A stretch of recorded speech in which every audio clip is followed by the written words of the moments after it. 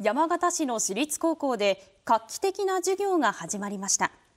授業を通して目指すのは社会課題を解決する起業家の育成です。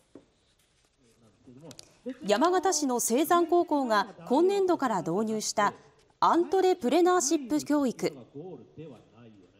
起業家を育成するのが目的で商業科ビジネスコースの3年生が学びます。授業は東京都の武蔵野大学が協力し専用の教材を提供する教育支援サービス大手のリクルートや関係各所への仲介役を担う山形市を加え産学官連携で行われます。生徒が将来やりたいという職業起業する力をつけていただきたくて導入させていただきました。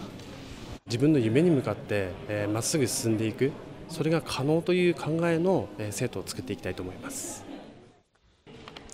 今日は公開授業も行われ参加した生徒たちは飲食店を開業するという目標に対して課題や解決方法を出し合うワークショップ形式の授業に取り組みました。自分で肉を切りたい。忙しそう。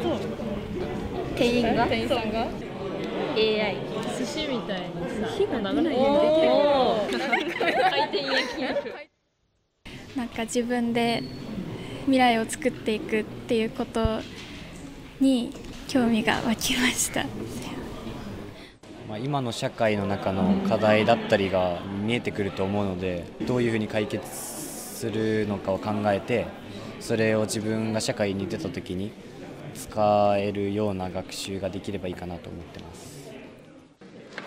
青山高校では今年9月まで合わせて11回の授業を行う予定で校内でプレゼン大会も開くということです。